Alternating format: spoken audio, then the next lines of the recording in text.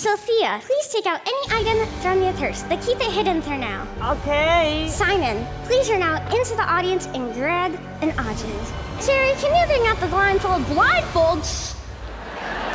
Can you see through it? No, I can't. Perfect. Please put it on the rim. You're gonna figure out what objects the judges are holding. Sofia, hold your object up into the air.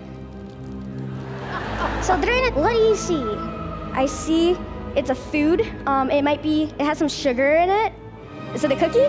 Sofia, what was your object? It's an oatmeal cookie. Oh my gosh! Since you're doing so well, you're gonna try this one solo. Wait, wait, I'm getting something. It's, it's an accessory you wear on your wrist. Uh, is it an Apple Watch? Uh, yes. My gosh!